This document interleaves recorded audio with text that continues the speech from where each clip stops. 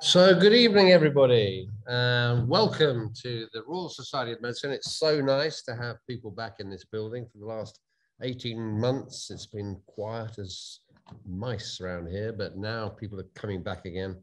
We're all triple vaccinated and uh, uh, things are looking much better.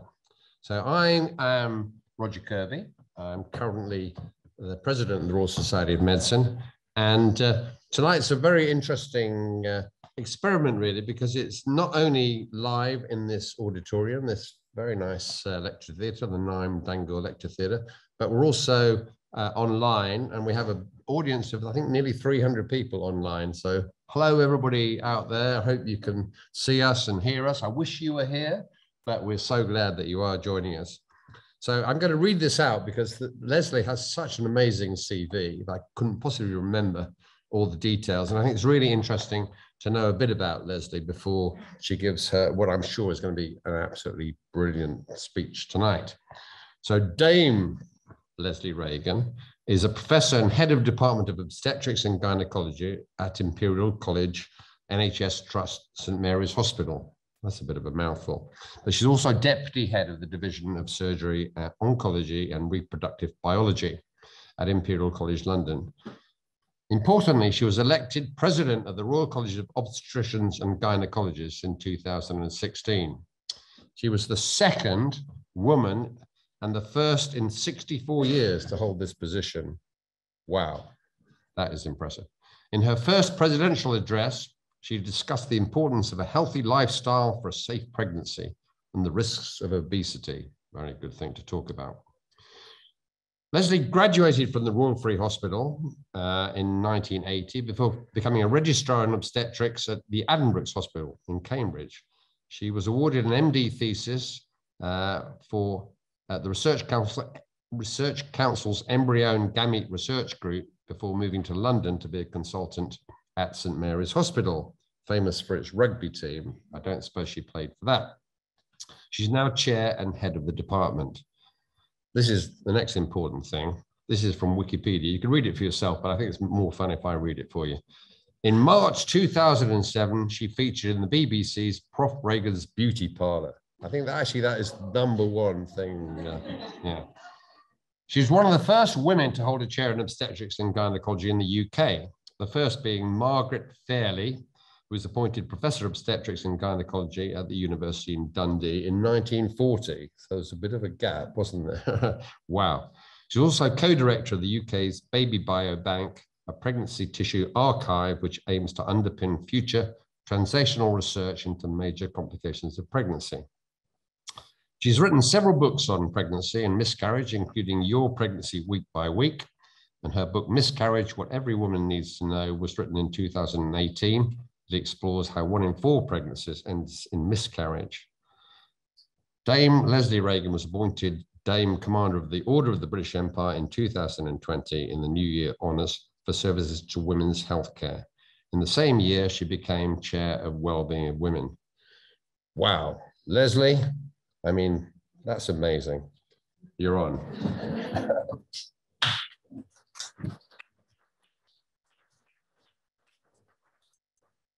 Thank you very much indeed, Roger, for your invitation and for your introduction and the warmth of your welcome. Thank you very much indeed. It's lovely to see so many uh, real faces after such an extraordinary couple of years. And thank you to those of you I know and those of you I don't know, but there's a lot of faces I do know. So it's very lovely to hear. Thank you. So uh, as you know, this is a, a lecture that is hosted by the Royal Society of Medicine and the Linnean Society. And rightly or wrongly, I decided to talk about the topic of how can we achieve gender equality. And I hope we can move these slides on. Oops, sorry. How can we achieve gender equality, which is Sustainable Development Goal 5 by 2030? Now, I think most of you know that I'm an obstetrician and gynecologist, and I've spent much of my professional career looking after women. So I think it's quite easy to understand why I might feel passionate about the issue of gender equality. But what I wanted to do tonight was to start by reflecting on how relevant it is, not just to me, but to everybody. and to all of us as doctors and healthcare professionals working to care for patients across what I think is many different specialties in this room. So I'd like to talk to you about what we, what we can do about it, the issue of gender equality, and how most importantly, we can all individually take actions to achieve it. 2030 is not very far away. So in my work as an obstetrician gynecologist, I've had enormously, um, been enormously privileged and I've had the opportunities to travel and work in countries across the globe. And I think the most important thing to start off by saying is that in many of those places, the picture of gender equality and the subsequent healthcare those women need are very, very different from this country. So I'm going to tell, tell you a little bit about those experiences uh, in my talk. But as a clinician, I think it's fair to say I've witnessed many of the barriers that women across the world are facing. And most crucially, how these barriers are not just in accessing good quality healthcare, but also barriers in accessing social and economic autonomy. So it's a problem that is complex and it's a problem that spans many, many areas of life. And I'm only going to be able to do justice to the health side of it tonight. There are many, many aspects of gender equality that transverse, traverse into many other disciplines and many other fields. So this is Charles Darwin, who lived from 1809 to uh, 1882. He is a very famous uh, 19th century English naturalist, geologist, and biologist, but I think he's probably best known for his contribution to the science of evolution. You'll see here three of his most, most well-known tomes, The Origin of Species, The Voyage of the Beagle, um, and The Descent of Man. The Origin of Species was published in 1859, and this was his hypothesis on the natural selection and the basis of human evolution. And then in 1871, he laid the foundation for all modern work on the mechanisms of sex selection in his book, The Descent of Man and Selection in Relation to Sex. Now, this Darwin lecture, as I said, is jointly hosted by the Linnean Society and the Royal Society of Medicine, and I'd like to pay tribute to my 12 predecessors who've given this lecture. And I think you'll agree with me that they share a recognizable evolutionary trait. Now, I'm going to start by introducing you to the UN Sustainable Goals, the Development Goals. They span the 15-year period from the 1st of January 2016 to the 31st of December 2030. So we've only got eight and a bit years to go. And they are, as it says here, a blueprint to achieve a better and more sustainable future for all. But specifically, they are designed to end poverty, to protect the planet, and ensure prosperity for all. And of course, the SDGs are following on from the Millennium Development Goals, of which there were only eight. And two of the 17 SDGs explicitly recognize the importance of girls and women and their health and achieving gender equality to achieve the overall um, ambitious aim of the SDGs. So it's SDG 3, which is the green one in the middle at the top, good health and well-being, ensuring healthy lives and promoting well-being for all at all ages. And that includes a specific uh, commitment to reduce global maternal mortality and also to ensure universal access to sexual and reproductive healthcare services.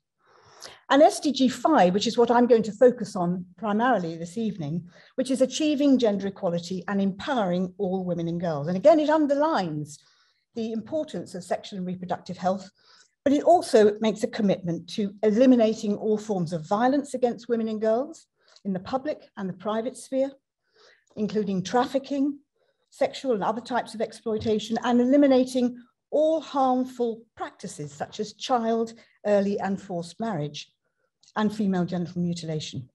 But unlike its predecessor, MDG 5 and MDG 3, the goals are going to call on governments across the world to achieve rather than just promote gender equality and the empowerment of all girls.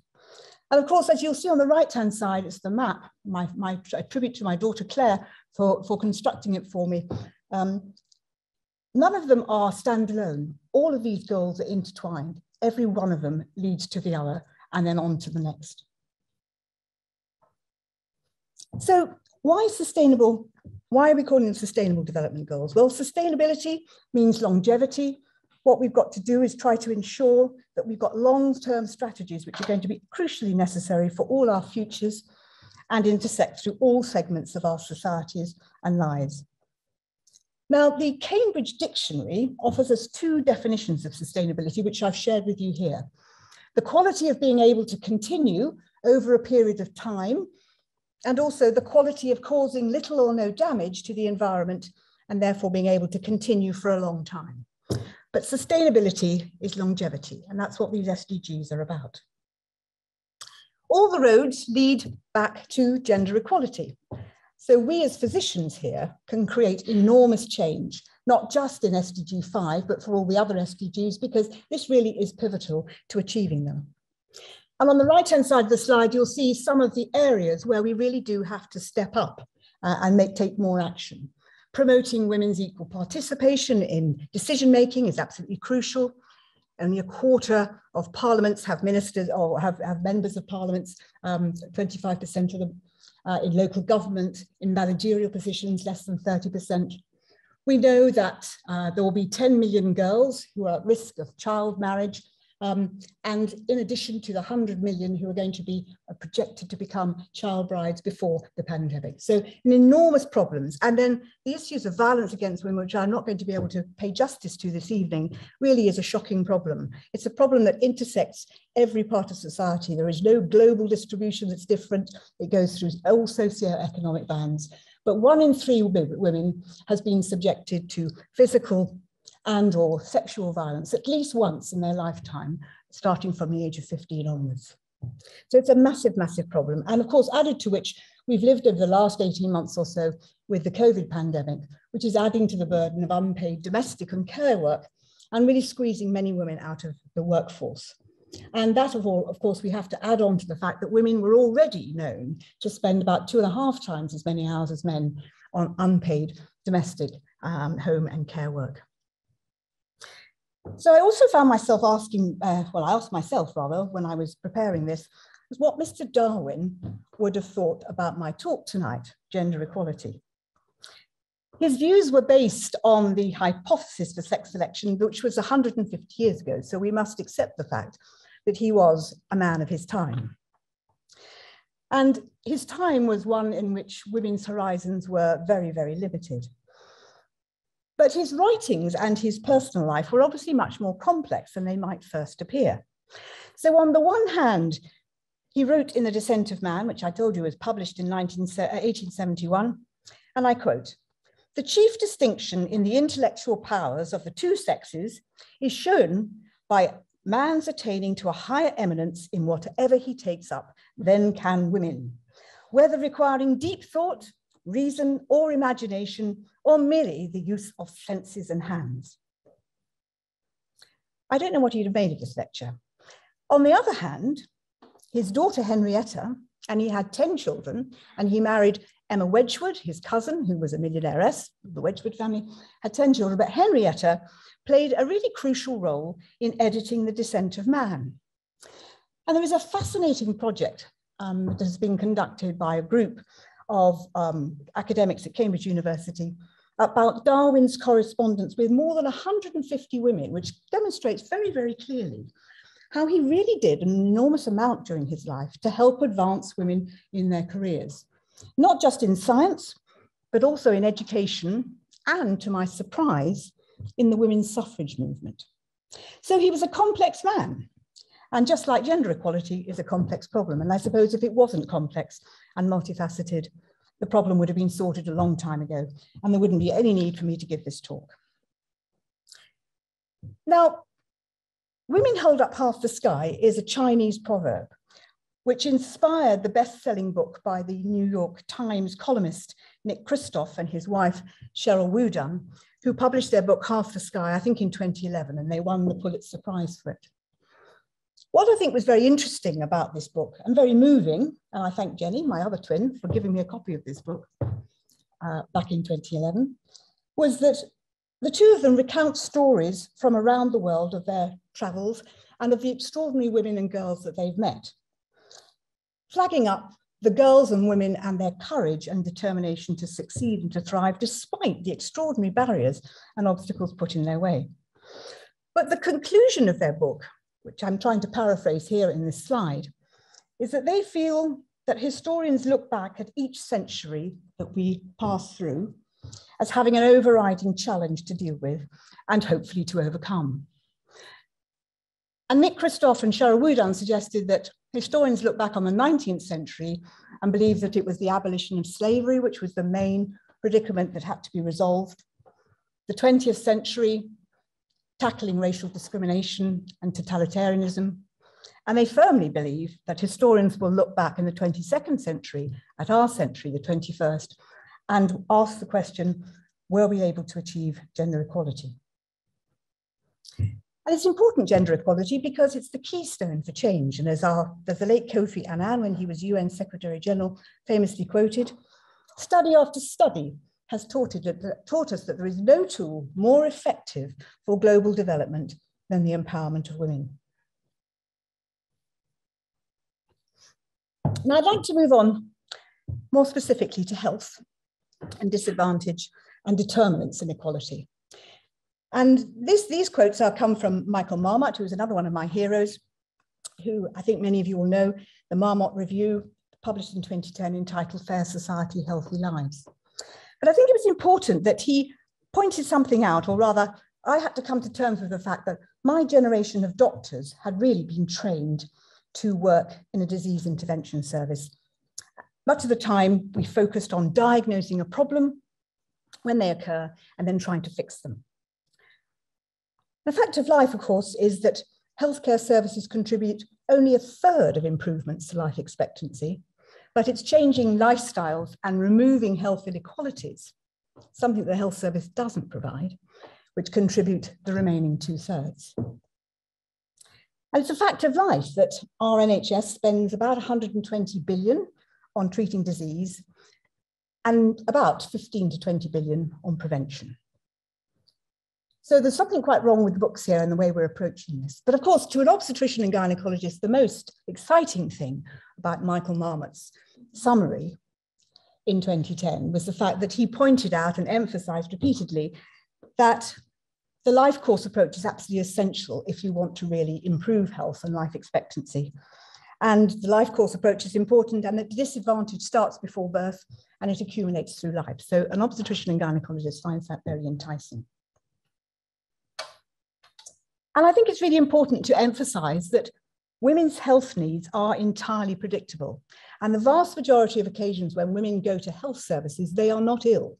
They're actually seeking help to manage day-to-day life issues. So if you look at this graph, it's a graph from naught to 60 plus years along the bottom. And you'll see at the far side, what's really important to girls is that they get, and boys for that matter, is that they get good sex and relationship education at school and that they get their HPV vaccine at the age of 12 to protect them from cervical cancer. And somewhere, sometime around that time, they'll start having menstrual periods. And they're going to have about 12 of these a year for 40 years of their life. So this is something that happens to them very regularly. And they need contraception because I think they need to decide when and with whom and how many times they want to become pregnant. And you'll see from this graph that in fact pregnancy care uh, is only now relevant to 80% of the population. One in five women are going to choose or are not able to have children. And I often reflect on the fact that there's this little bit down here called assisted conception, which I spent mm, 25 years researching both in, in clinical and academic terms uh, on the causes of recurrent miscarriage. And I look at this graph of women's predictable health needs, and I realize how inconsequential all of that was. And then, of course, there's an inevitability that women of my generation are going to become menopausal because we all live so long. So, sometime between the age of 45 and 55, every woman's going to become menopausal. And of course, until very recently, we did nothing about these women. They, they hit the menopause. If they were lucky, they got a bit of help with a bit of HRT or a few antidepressants sometimes, and then we waited for them to fall over at a later stage in their life. And yet we know there's so much that we can do around the fifth and sixth decade to prevent problems later in life if we don't just wait for them to happen and we actually uh, predict what they're going to need and put, um, put, put measures in place to do so. So coming back to Marmot, I think the other thing he really helped, was helpful in, in emphasizing for us is how health inequalities stem from social inequalities. And he talks, as you know, about the causes of health inequalities and then the causes of the causes, which are the circumstances in which we are born and grow and live and work and age. And of course, he tells us at great length that the poor tend to be unhealthy, but the key message, I think, from his report is that the best health and life expectancy doesn't follow wealth. It follows achieving secondary education. So you can buy yourself good health only up to a point.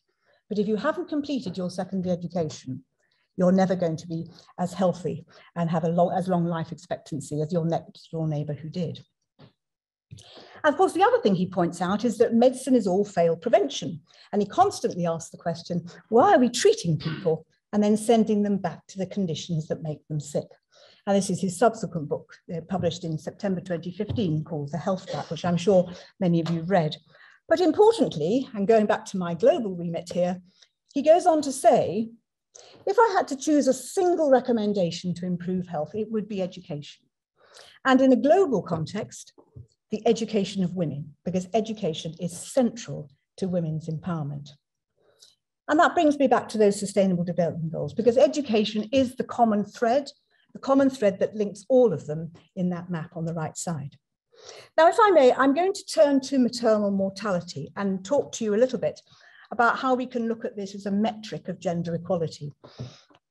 Because maternal mortality, which we measure in the numbers of women dying per 100,000 births or 100,000 deliveries, is an indicator of the extent to which that society values the woman and prioritizes her reproductive health. And it's also a measure of the inequities that intersect across gender and ethnicity, race, a socioeconomic background, and where she lives. And there are all social determinants of maternal mortality the status of girls in that society in which she lives, the level to which they've been empowered, usually, whether they're literate or not, and therefore their ability to make healthy choices for themselves. So let's look at the numbers. So there are, well, this year there will be another 213 million pregnancies in our, in our world. Um, 85 million will be unplanned, it's about a third of them. 56 million of them will be induced abortions, about half of them will be unsafe, and overall, another 303,000 women are going to die because they became pregnant. And of those 300,000, one in four, or 25%, will be adolescent girls, young girls. And of course, deaths are something that we can count, although I suspect that the numbers that we get from the WHO and the UN are an underestimate. In addition to every death, there are another 30 life-changing morbidities for girls and women across the globe. And if we look at this map of maternal mortality and the ratio dating back to 27 from the World Bank, red is the highest maternal, maternal mortality, orange slightly less, and you will see how the burden of maternal mortality is really held in the global south predominantly in sub-Saharan Africa and particularly Central Africa and some areas of Southeast Asia. And that red blob, of course, over there is Afghanistan, which is programmed to get much, much worse in this next couple of years. So if we look now at the lifetime risk of a death due to pregnancy, on the right-hand side, we see that Sweden is the best place in the world to be pregnant. So your lifetime risk of dying because you became pregnant is about one in 17,400 in Sweden. And if you take the average for developed countries, it's about one in 7,000. Move to the left-hand side of the slide and you'll see why in some countries in sub-Saharan Africa, they have farewell parties at 36 weeks instead of having a baby shower. In North Africa, the risk of dying is 1 in 210. Um, Sub-Saharan Africa, 20, 1 in 22. And the figure drops to one in eight in Chad, or perhaps I should say it rises to one in eight in Chad, which means that if you're a girl in Chad, you've got more chance of dying because you became pregnant and you've got no control over whether you did become pregnant because you've got no access to family planning. More chance of dying than you have of finishing secondary school, which I think is a really chilling statistic for 2021. And of course, those of you who've been interested in global health will know that for years and years and years, we've been taught that these are the main reasons why women die in childbirth in the 21st century. The clinical reasons, the three delays theory, there are cultural reasons, there are economic reasons, there's access to healthcare and their quality of healthcare. And I'm sure they all do play a part. But as you'll see from my cartoon, I think they're a little bit of a red herring. And what I'd like to propose to you is that actually the real problem and the real reason why these women are still dying in the 21st century is because they haven't got gender equality. And what we need to provide them with is female literacy and political will to rate those women in those societies and ensure that they don't die in the future. And that's because I think we still classify maternal mortality roughly speaking, as events that happen in the birthing unit or the delivery unit or the field. And I think that's a little, little bit uh, too little too late. So here you'll see are the top five global causes of maternal mortality, and they are hemorrhage, sepsis, unsafe abortion, preeclampsia, and obstructed labour. Interesting, obstructed labour is only 9%, one in 10. You need lots of facilities to manage someone in obstructed labour, but the other four are potentially preventable with cheap and heat stable treatments if you've got the wherewithal and the networks to try and ensure that their women are looked after early. So I would say that we have, what we've got to do if we really want to change maternal mortality in a sustainable way is to stop firefighting in the delivery unit and the birthing hut and we've got to move back upstream to avoid the unplanned pregnancies. And I'm reminded at this moment of one of my heroes as well, Mahmoud Fathallah, who's a past president of FIGO and the father of the Safe Motherhood movement that he founded in 1998, nearly 25 years ago now. Sad that, what he said then is still pertinent today, that women are not dying of diseases we cannot treat. They're dying because societies they live in have yet to decide that their lives are worth saving.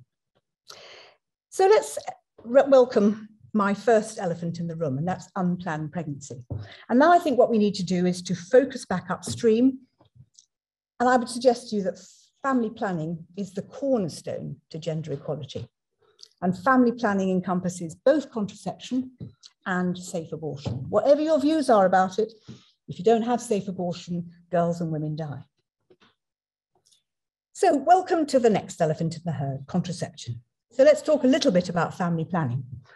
Well, we know this enables women to plan for the future, complete their education, find employment. Women who've got access to family planning usually restrict the number of children in their family. There are 214 million women in our world and girls with no access to any form of family planning whatsoever. And that really is a tragedy because we know that if we can birth space by 18 to 24 months, we can prevent not only maternal deaths, from all the reasons that I spoke about earlier, and for chronic anemia and illness and infection. But it also dramatically improves infant survival, not just the baby that was in utero and is born, but also the existing children. If your mother dies delivering your baby brother or sister, there's no one to get you vaccinated, there's no one to get you to school, there's no one to get clean water. And this is the unmet need for contraception put again on that map with the same color coding of red. And you'll see that it follows almost identically the maternal mortality map that I showed you earlier. And it seems rather extraordinary because it is unequivocal that contraception is the single most cost-effective intervention in healthcare. Uh, no one will argue with that, it just simply is. It is incredibly, incredibly effective and really, really important um, that women are able to access it. So let's look here at the potential impact of what happens happening in COVID-19 on women's sexual and reproductive health services in 132 low and middle income countries. And this was an estimate put forward by the Guttmacher Institute in April 2020 as a guesstimate, or a best guess, for what might happen uh, with the COVID lockdown. And they estimated, and they've certainly been proven right and possibly to have underestimated it, that a disruption in the central SRH care, uh, i.e. a 10% decline in the use of short and long-acting reversible contraceptives would lead to another 50 million additional women with unmet need and another 15 and a half million more unintended pregnancies. Going back to the family planning, and now we're going to talk a bit about abortion, and this may upset some people. There are 213 million pregnancies per year, as I told you before, 56 million induced abortions, and 25 million, about half of them, unsafe. So that means that one in seven maternal deaths are due to unsafe abortion. So welcome to the herd, unsafe abortion. And I think it's really important that although it's a polarizing topic, whatever your views are about it, as I was saying earlier, if you live in a society where you don't provide the choice for safe abortion, then it is inevitable that girls and women will die because the problem doesn't go away. It just goes underground and becomes unsafe. So outlawing it makes it worse. It doesn't stop it, it makes it worse. One in four pregnancies ends in abortion. That's 150,000 cases a day. 50% of those induced ones are unsafe. And 97% of all the unsafe abortions are occurring in those developing countries in the global south. So restrictive abortion laws lead to unsafe abortion and maternal deaths. So the legal, legal restrictions have very little effect on the request, but a very large effect on the outcome. And I want to remind you again that one in four of those unsafe abortions are sought by young girls, our children, or perhaps I should say our grandchildren now. So I think that we have to make an argument for abortion being essential in healthcare for women, whatever our personal views are about it, recognizing that outlawing it makes it worse. Here's a map now, again color-coded in the same way, uh, about the legal state of abortion. I hope one or two of you will question that big swathe of green on the left-hand side because the US seems to be going backwards and very soon that's going to become red. But I'd like you to focus on, if you can just see it, perhaps I can point it out here, um, on the UK and Ireland. Ireland is now green, paradoxically, with the events over the last couple of years both the Republic and the Northern Ireland have more liberal laws than England and Scotland, which I think is um, something to comment on. And I've already made a comment about the US, and I won't waste more time on that. But I just wanted to remind you that just across the border from the US in Canada, Canada decriminalized abortion in 1998. It didn't mean it deregulated it, it's, it's very carefully regulated, but it's not in criminal law. It doesn't have conditions that specify on what circumstances an abortion is legal. They have, as a result, an abortion rate which is lower than the UK, uh, and it enjoys one of the lowest maternal mortality rates in the world. And here on this graph, you see what happens to the induced abortion rate in sub-Saharan African countries that are um, dependent on US aid. And when the global gag rule or the Mexico City policy, which each Republican presidency invokes as soon as they come into office to restrict any US aid being spent on any form of abortion care or contraception, you'll see what happens. So the blue arrow in the middle there is the point at which in 2001, George W. Bush reinstated the global gag rule and look what happens to abortions. They shoot up because of course, contraception services and all forms of SRH services uh, are restricted too. So it doesn't solve the problem, it makes it worse. And then here's another estimate from the Guttmacher Institute dating back to April 2020 about how the disruption in essential SRH care is going to mean um, a shift in abortions from safe to unsafe of another 10%. So in addition to those additional women with unmet need and the more unintended pregnancies, it's predicted that there's going to be another 3 million more unsafe abortions and another 10,000 additional maternal deaths as a result of it. And the problems are not just there in sub-Saharan Africa. In, during the COVID, elective abortions were banned in six European countries and suspended in one.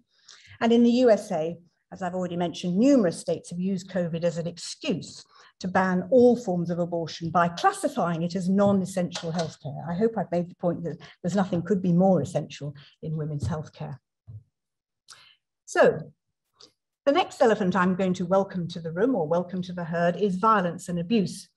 And difficult as a topic as it is, I think we do have to acknowledge that the, during the shadow pandemic, or rather we have now we refer to a shadow pandemic because violence has escalated uh, amongst women uh, in almost all societies during the COVID-19 uh, lockdown. It's a very difficult topic it's a difficult topic for people to discuss.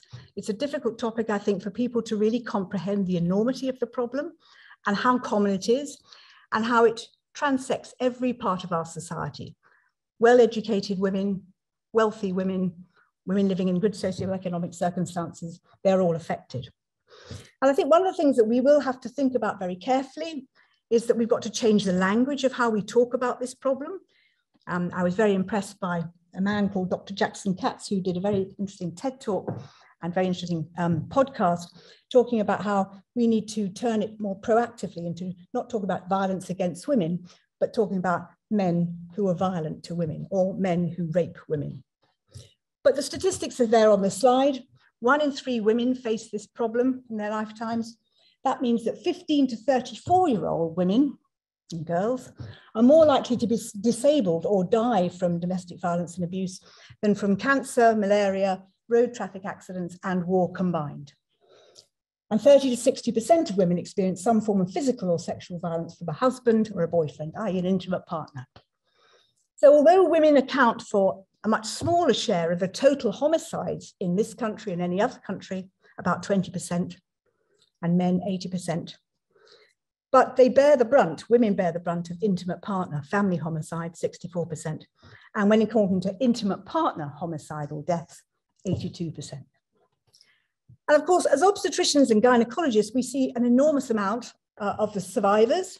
They're not victims, of course, we should, shouldn't say we're victims, they're survivors um, because we know that 35% of all domestic violence and abuse starts or escalates in pregnancy. So after road traffic accidents, it's the most common trauma that women experience during pregnancy. Often there are multiple sites of injury for all sorts of complex reasons, and teenagers are at greatest risk. I could obviously talk to you a great deal about it. I mean, it's an incredibly difficult problem. Um, and as you know, survivors rarely um, present until they've suffered multiple assaults and we know as well it's got a vast economic cost to our society. Uh, it's been estimated in the UK at least five years ago that this complex public health need probably swallows about 23 billion of health and social care costs. So it is a real, real problem. And then in 2019, uh, Cressida Dick, who was leading the, or still is leading the London uh, Met Metropolitan Police Force, uh, talked about the fact that the Met receives, remember this is just Greater London, so a population of what, 8 million, a call about domestic violence every 30 seconds. That totals a million calls a year. That's a lot of telephone calls when you think the, the person telephoning to report the problem has probably been assaulted on at least four occasions before finding the courage to report it. And we know that during the COVID-19 lockdown, that the number of calls has been doubled. It really is a pandemic.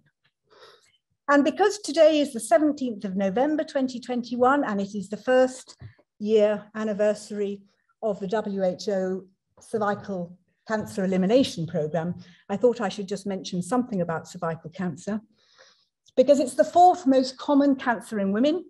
There are another 500,000 new cases every year. There are more than 300,000 deaths globally from a disease which is entirely preventable with a cheap vaccine. So the deaths from cervical cancer this year for the first time are going to exceed maternal mortality. And you can read on the slide. It's been predicted that if we don't do something about vaccination and early screening and early treatment, and we don't scale up our efforts across the, across the globe, we're going to be faced with 450,000 entirely preventable deaths annually in the not too distant future. The WHO program has got these three pillars of um, vaccination for young people, uh, screening, um, and, and then um, early surgery. Remembering well, of course, that if you live in the global south, the chance of you being able to access a radiotherapy machine are negligible. And major surgery or complex pelvic surgery and radiotherapy are the cornerstones of invasive cervical cancer. I think the other thing I should just mention before I move on as I said, HPV vaccine is cheap and it's very cost effective. So we really do need to encourage governments to follow what we've done and to spend them.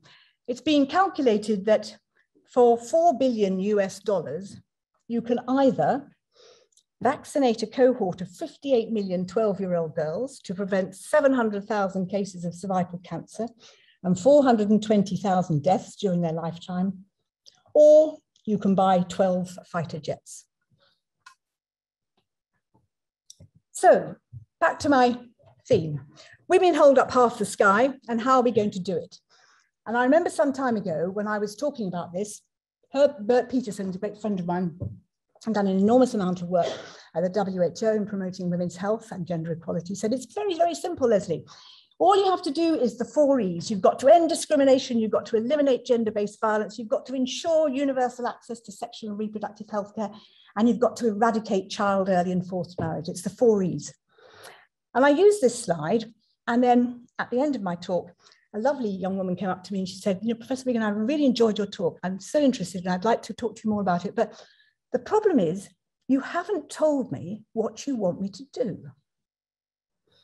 And it really made me think. So I'm now going to spend a few moments talking about some of the things that you can do and that we have got right, because everything's been a bit gloomy so far, but there are some really very positive things on the horizon. So I'm going to, I call them case studies. I'm going to talk about firstly about the Leading Safe Choices program, which I think was probably the most useful thing that I've done during my career, which was to get this money from the Buffett Foundation for a four-year program to run family planning, both safe abortion care and postpartum coil insertion um, in South Africa and Tanzania. It was a four-year program uh, between 2015, uh, 2014, in fact, and 2018. And it was an attempt to try and skill up the local healthcare professionals, some of whom had very, very lowly qualifications, to do something about preventing the 22 million unsafe abortions and the two and prevent and rather reduce the number of 225 million who've got no access to family planning. So this is a, a, slide that we used at the starting of the program when we chose our, our, our, our title of Leading Safe Choices. Um, and you'll see that it was 225 million at that time that didn't have access. So we got somewhere because it's down to 214, but there's still a long way to go. So what the program was about was about training these, the, training other healthcare professionals um, in country to undertake uh, postpartum coil insertion, because remember, in many, many countries in sub-Saharan Africa, the only time a woman or the first time a woman ever meets a healthcare professional is when she delivers her baby. So we suddenly used to play around with the idea, yes, we had deliver the baby, placenta out, and then the coil in. Um, but I'm trying to be, I'm being flippant there. But postpartum family planning was a major plank of this.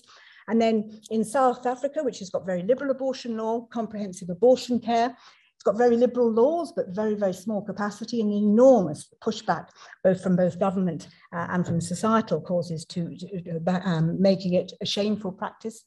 And then, of course, in Tanzania, which has got some of the most restrictive abortion laws in the world, we had to provide training in post-abortion care to manage hemorrhage and sepsis when women came in, having visited um, backstreet abortionists. That's how we started off the program. Uh, we started it off producing best practice papers that which we developed and we disseminated, uh, showing the healthcare professionals what they needed to do, what they needed to know about. And then we organized training and all sorts of uh, on hands-on training but the most important thing I think that we did was then to add two bits, and I'm going to go back to my previous slide, to actually, we added the family planning counselling and the values clarification workshops. And we found that that really then did help enormously. And the third part of the program, which was really, really crucial and which we hadn't really envisaged right at the beginning, but then we majored on, was the supervision and mentoring. So if you've if you've been trained to do one task you probably need someone to come along on a monthly basis and tell you you're doing a good job. And you need to be reminded about what you need to do. And it was really, really important. So ongoing supportive supervision and on-the-job mentorship was a real, was a really important thing. And it really was a changing hearts and minds um, program. And in this graph, you will see that the orange lines go up with a, with a postpartum uh, coil insertion in, in all the South African pilot sites.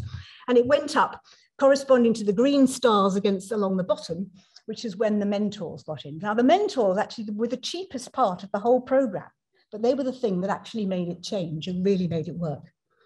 And we spent a lot of time analysing what the barriers had been, because of course we had to cope with uh, conscientious objection and personal values, both for contraception and abortion care at provider level and at health system level. There was all sorts of problems with priority setting and funding and supporting providers.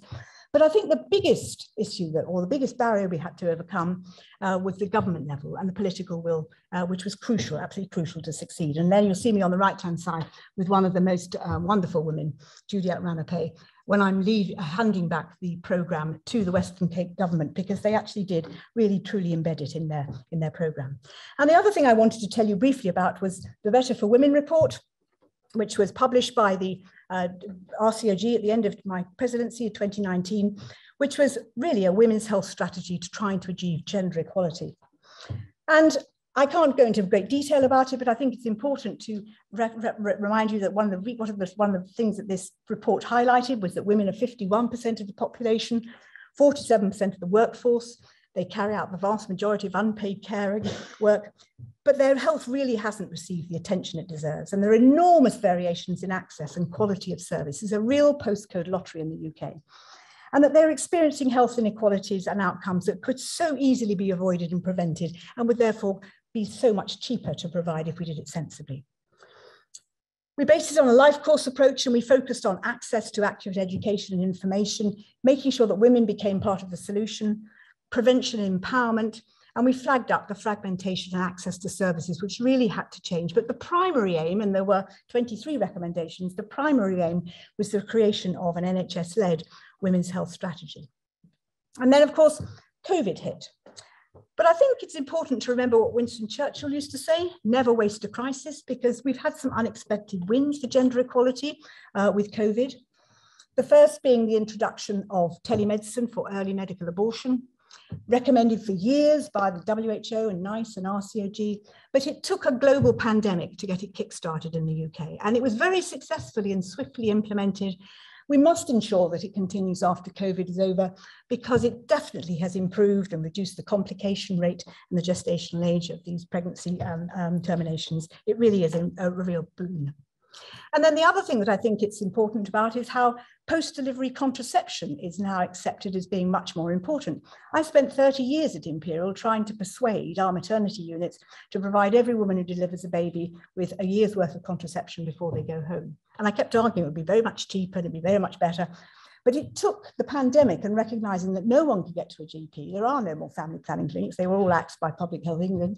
Um, so that we'd have to do something. And so in the Northwest London region now, which, which there are about 30,000 births per year, most women are offered post-delivery contraception. It's very, very simple. And in the small writing on the bottom left, you can see the business case, which the commissioners have now swept up because it's going to save them an awful lot of money because we're going to reduce many unplanned pregnancies.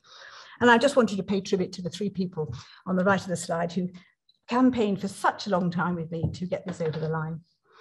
Um, and also to ensure that progesterone-only pills are now available over the counter. You don't have to go to a doctor and get them prescribed. You can actually get them over the counter. Not rocket science. It should have happened 30 years ago.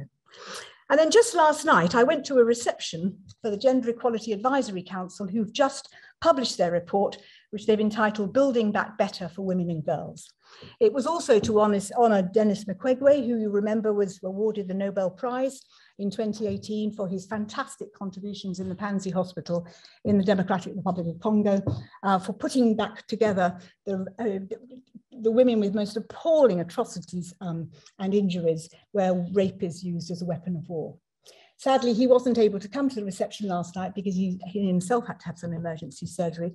But his visit was going to coincide with the launch of his book, The Power of Women, which is a really compelling read.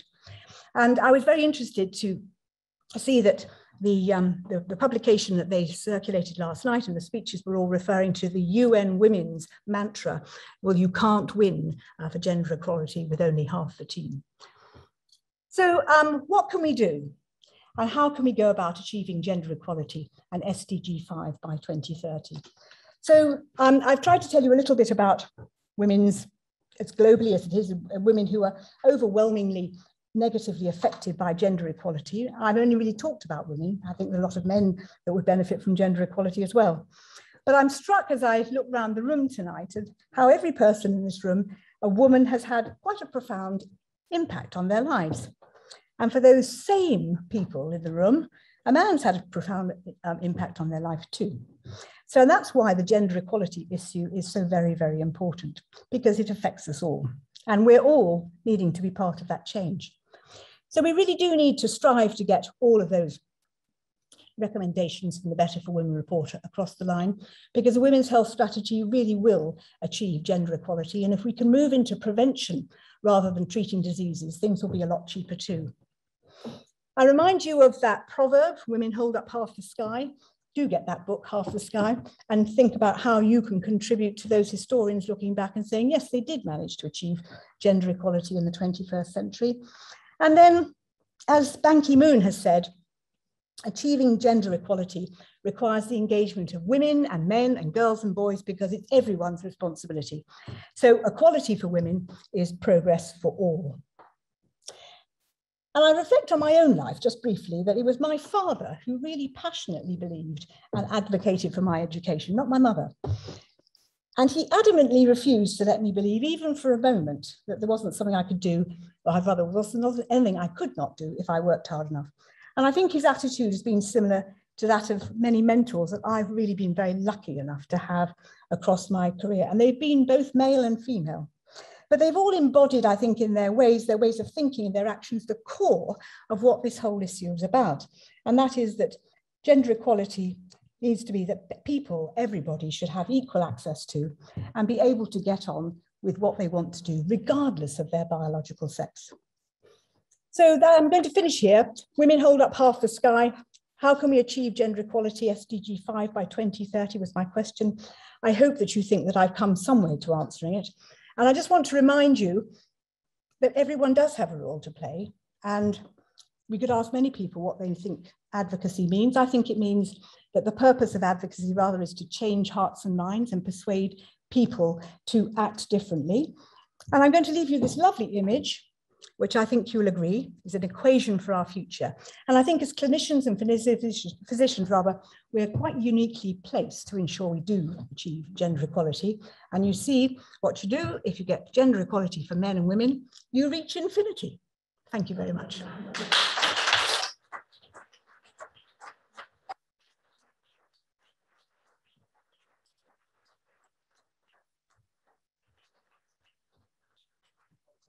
That's it there. That was absolutely fantastic. I mean, I think um, I'm sure everybody will agree that was uh, inspiring and uh, clarion message that uh, we all need to change the ways that we work. I also love the slides because I know that um, we have a majority of people watching this online, and usually when people give hybrid lectures, the slides are far too small for them to read on the often quite small screens that they're looking. So congratulations. I think maybe one of those daughters of yours might have been helpful in that respect. I'm not quite sure which one. So let's see if we can um, get a few questions for Lesley. Anybody in the audience? Because we're, we're online, and I'm not going to pass around the, the, microphone because of COVID and viruses and all that jazz. So um, anybody would like to ask Lesley a question? Parveen, let's start with Dame. One dame would like to talk to another dame, I'm sure. So let's just repeat that question so for the people online. So what are you going to do about climate change, which I haven't been able to talk about, and you understand why it's an enormous topic. And also, I think my colleague here from the Mayor Society has just come back from COP26 um, and is going to actually say a few words about climate change. It is enormous, the problem. And as you recognise, and you pointed out, Parveen, women and girls are disproportionately and adversely affected by climate change. It's always them that carry the brunt of it. And also in disaster zones, war zones and refugee camps, it's the women and the children who have the worst um, outcomes because they're always the ones left behind. You know, th throughout throughout all, all, all, in all disasters like that, it's always women and children. I mean, if you talk to David Nott, when he works in, in Syria and in Jordan, he'll tell you that 65% of the emergencies that he's going out there to operate on with his team are women. They're either obstetric or gynecological problems. But I can't promise, I can't, I can't answer about the climate change, but I think my colleague from the Lions might be able Two questions then. Should we take the, the, uh, the one on the second row down? Yes, yeah, yeah, you're waving your hand. Just tell us who you are and keep it nice and short because remember they can't hear online.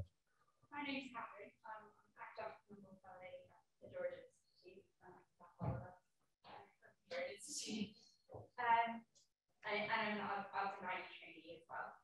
Um, my first degree from politics and economics, and you mentioned something really important there, which is political will. And I have to say, a bit of my heart sinks a bit because I see there's always arguments about other things taking priority, whether it's the pandemic, whether it's the autumn budget, whether it's um, climate change? And what are your thoughts on really creating and pushing forward the political will? I, I completely agree with you. I think that's the crux of it. But how can you push that forward? Just for, so repeat, the question, repeat, repeat the question is, how can you ensure that you garner or you harness political will? Well, I think you have to come up with good stories and you have to keep telling the stories and you have to keep relating to this could be your daughter, this could be your wife, this could be your sister, this could be your granddaughter. And I know certainly during my time as vice president and president of the RCOG, talking to two successive health secretaries, it was always about, do you realize that your wife has to go to four different places to get all these things done when she should be able to walk in and get her smear and her contraception or her HRT and her mammogram all done all together. And they did eventually listen because that Women's Health Strategic Group that we took off and now the current Secretary of State and the new uh, women, women's ministers are, are collecting all the evidence. In fact, the reason it's taken so long to get that women's health uh, strategy and the call for contributions from the public into print is because they were deluged with, with comments and things, but at least they're doing something about it. Personally, I don't believe it'll be much different from the Better for Women report, which was pretty succinct and it had 23 recommendations. And we do have to grasp every time there is a chink in the armor or a possibility and think imaginatively about how to get things sorted out, like telemedicine abortion eh, it didn't go didn't go over the line in March 2020 because the government thought it was better for women. It got there because we said, look, if you don't do this, you're going to actually go against what the prime minister's told us to do: stay at home and protect the NHS. We said three and a half thousand girls and women every week are going to go to facilities, infect the NHS, and expose themselves and their families, and that's why it went over the line. And the progestogen only pill, it should have gone over the line or onto the over the counter 30 years ago. It's one of the safest pharmaceuticals in history. Um, and it took so many years, but it got over the line again because of what's happened with COVID and with lockdown. Interesting that Viagra went over the counter within a year of it being um, produced. That little blue pill, I remember that very well. Um, we had a question there, a question from that side of the audience. Anybody? Yeah.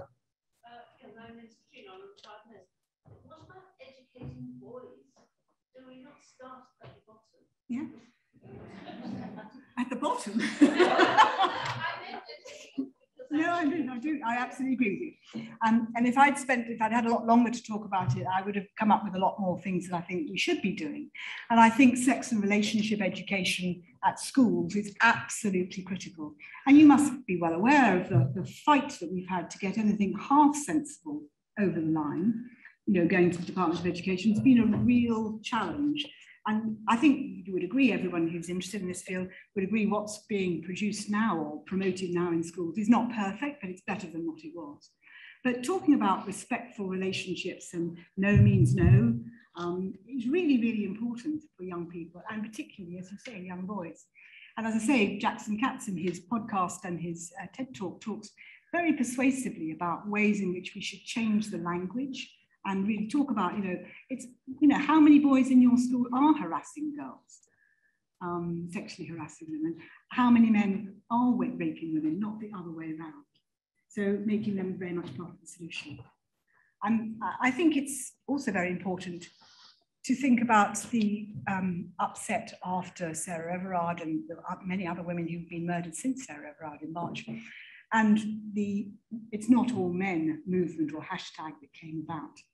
And I think, again, my tribute to Jackson Katz is that when he was talking about it recently, he said, but of course it's not all men going around abusing women, but it's, if, if I was to say, if Lesley was to say, um, because I don't think I uh, exhibit racial prejudices, that racial discrimination doesn't exist, it's stupid, isn't it? We know it does. So men have got to be part of the solution and all men have got to be part of the solution. That doesn't answer your question. But, um, in, a, in, a, way, it does. Uh, question there? Uh, I'm uh, Marcela Contreras, and I was um, uh, running the blood service, and I've done quite a bit in Africa as well and in Asia to develop blood services because that's one of the major causes uh, of women's uh, deaths. But my question is, uh, I'm surprised, I'm not surprised to see that there are so many women here in the audience, and I hope that the, the men are listening at home. Yeah. because uh, it's and the education is not only sexual education. That's what I was going uh, to ask for. It's the attitude of men towards women Mm. that have to change. It's not only the sexual aspect, but considering women as their equals. I, I'm sure that it might have, it, it took me a long time to be recognized as a, as a woman in my career and I, I got there. But you have to fight very hard to uh, get to the top as a woman compared with men. It's much easier for men. And uh, it's education and education and education, uh, as well as for women or men. That's I would, I would agree with you entirely. Yeah, remember, keep the questions short because they won't be able to hear you, you because you don't have a microphone. Um, the very famous doctor from North London would like to ask a question. Brief question, please. Very good. Um, what are the chances that you're going to achieve this a given time? Um, I think the chances of achieving this by 2030, um, well, I, I'm going to have to rely on my eternal optimism that we can achieve it, but it's going to require you and me and everybody here to do something about it tonight, tomorrow, next week. Little things will actually build up. You know, we need to keep putting drips in the pond, and it will. It will eventually. Um, we will eventually get. Some interesting questions coming online now. Um, one is, uh, uh, you can read it. Um, uh, are there any men in the room apart from the chair, as me? and are they going to ask any questions? Well, we've just had one. Thank you from a man. We've got another man over there, um, wondering if this is an all-women echo chamber. I mean, yeah, th- that's interesting, isn't it? And then another question, uh, a comment from Amelia Lake. Thank you, Amelia. Your excellent presentation has covered issues facing women in the first 50 years of life in great detail. Can you comment on improving social and economic situation for older women? Well, yes, I mean, I, I've got a good reason to be very keen on looking after women in their post-reproductive age. yes, but I mean, you can't have escaped the questioner's notice that um, there has been a real zeitgeist over the last six months or so about um, menopause and recognizing, recognizing and understanding and making allowances for women menopause, uh, who are menopausal and providing them with help and advice, and also um, trying to get them to understand what they can do to prevent ill health in later life and using that, if you like, as a, as a, as a, as a, a health check at the age of 45 to 55, say average of 51 years. Um, and I think one of the reasons why there seems to have been so much traction uh, with this um, menopause in the workplace, and wow, as you know, the well-being of women have got this in the work, workplace pledge campaign, is that by saying to employers, look, this is crazy, it makes no economic sense you're going to be losing women at the most productive uh, and the most experienced part of their lives and their careers. Why aren't you just making some more adaptations for them um, so that they can carry on working? So pre-pandemic, we were hearing on that Better for Women report that one in four women um, who were menopause in the workplace were leaving because they felt that they couldn't continue, they couldn't discuss it with anybody. Um, I think that the COVID, again, the COVID lockdown has meant that flexible working is now something that many employers consider may be a possibility. It's not possible for every job, but for many more, it is now. It, when it's been shown, it can can, uh, can, can potentially work. So I think there is a lot to be done for um, menopause uh, women or women in their post-reproductive years. Um, and I think that the uh, you will be seeing more of it. There is a, you can sign up to the Wellbeing of Women uh, website and you know sign up to that pledge. Um, and we want individuals to do that as well as companies. So there's a toolkit on it giving you lots and lots of really useful practical ideas about what you can do for the women in your life or the women in your workforce, depending where you're coming from, um, to help them continue to you know, utilize their skills and their experience and not leave the workforce because they can't cope. Sure, and actually tonight, um, Henrietta one of uh, uh, Bowden Jones, one of our trustees, is interviewing Mariella Frostrup, uh, talking exactly about that. That'll be online on RSM Live. We've got time for maybe two more questions. So this is a bit random uh, over there. Hello. Hello, Fiona. Speak up nice and loud. Yeah. Yeah. Absolutely fabulous talk, Lesley. How do we educate the Taliban? Ooh, that's a good one. How do we Well- educate the Taliban? Yeah, so Fiona, I think I'd have to pass that one back to you. I mean, I mean, it's, if I wanted to really kill you with power, Educate the American government. Well, I mean, if I'd really wanted to kill you with PowerPoint tonight, I could have shown you all these, these figures about what has happened in Afghanistan. So since, um, since the occupation there, or since the, the, the UN forces went in, maternal mortality has not just halved, it had gone down to one, 20% of what it used to be. It's still incredibly high. It's still a red mark on my map, but it's going to go back again, it is thought. And I don't know what we can do. I don't understand how people can want to rule out 51% of the population and not feel that they've got a contribution to make and not cherish, you know, what they, what they are able to provide. It is a complete, completely mystifying to me, completely mystifying. Just before I hand over to Sandra Knapp, um, I, just to prove we're not a female echo chamber, we'll have the, the gentleman at the very back back. there. I just did want to raise the point about faith-based organisations. Of course, it is, as the lady said, not just the Taliban. I mean, Americans have strong faith-based organisations that prohibit abortion. Is this a target worth aiming at? And is it one of your elephants in the room? Faith. Well, the, the opinions that are drilled into people in many, many different faiths, Mm. religions, Yeah, and then the problem with the US one. Just, just repeat the question. uh, So, so should we be should we be targeting um, should we be targeting faith-based groups which prohibit abortion and often uh, prohibit women having or having autonomy? Yeah, well, I, I think it's a very difficult question. I mean, they are so well funded. I know when I was um, when I was debating at the RCOG to support decriminalising abortion, the um, the what was it called? The Catholics? No, it wasn't the Catholics for Choice who were very supportive, but there was a CitizenGO, uh, which is a website funded um, with enormous sums of money in America. All you had to do was go onto the thing, press on CitizenGO, and put your email address in, and they would immediately craft the letter individually addressed to me um, and signed off with their name. And I've got thousands and thousands of them. So it's- they're a very big organization, but I, I think one can only carry on talking about what happens when you prohibit it. I mean, what's happening in Texas at the moment is really, really shocking. If you're a pregnant woman in Detroit, I mean, the US maternal mortality statistics are, are starting to be some of the worst in the world. They are absolutely extraordinary. And it's not just because of the way that they fund their health services and how very poor people living in downtown Detroit can't access Medicare. It is also about the upstream things, the family planning, the lack of family planning, and the complete prohibition of abortion services. It's really, really tragic.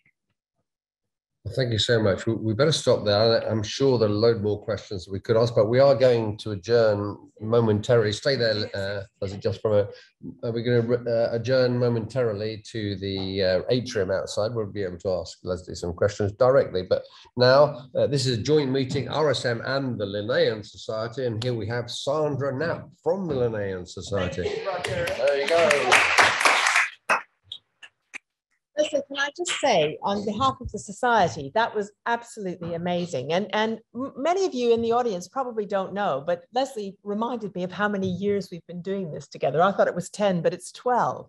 And this started out as a joint lecture between the RSM and the Linnean Society because we had a joint interest in evolution and adaptation, which is one of the things that you mentioned during your talk about adaptation and how adaptation is one of the important things that we can do to help with some of these problems. So this is this is a fantastic 12th, 13th, perhaps it's unlucky, 13th lecture for, for this joint this joint effort between the two societies. And I'm often asked because the Linnean Society was founded in 1788 and we're the oldest extant society which is devoted to the study of the his, of the science of natural history in all of its branches. And I would say actually that medicine is part of the science of natural history because it's about the world around us, it's about how the world works and how we as human beings interact with that world. So I would say that actually, I think the Royal Society of Medicine should come and join us.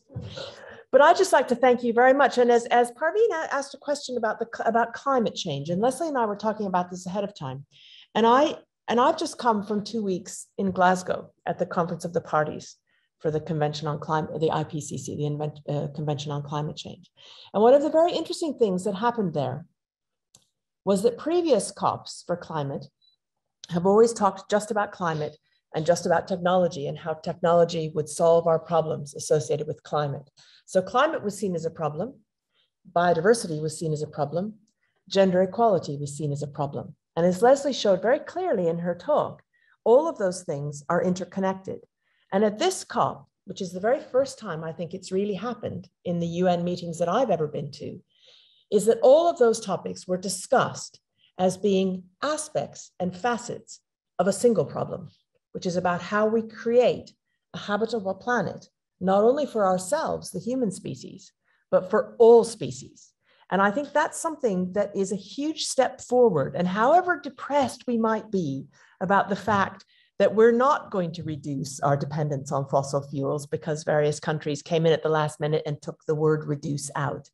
Actually, the fact that we've thought about all of those facets, gender equality, biodiversity in nature, and climate as facets of the same problem, I think gives us hope for the future. And I think, Lesley, you're absolutely right that we all must be advocates because maybe this is an echo chamber. Maybe we all do think these are important things. But as is obvious from Lesley's talk, there are many outside who perhaps don't think of this as important, as important as we do. So it's our job now to go forward from tonight and from the climate COP, go forward and actually become those advocates which talk to people who don't think the same way as we do. And that can be really difficult and really hard but it's a job that we all must do, both from the Royal Society of Medicine, the Linnean Society, and all of us here tonight. So Lesley, you've just really kind of made me feel more hopeful than I was, which is fantastic. And I'd like to thank you on behalf of both of our societies with this little tiny certificate. which managed to